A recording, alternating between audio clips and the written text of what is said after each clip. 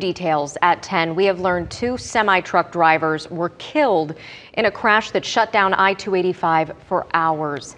It happened on 285 at Cascade Road. South Fulton police say the drivers of both trucks were killed. They haven't explained how the accident happened. The crash backed up traffic for miles before the congestion cleared. The road finally reopened at 3 p.m.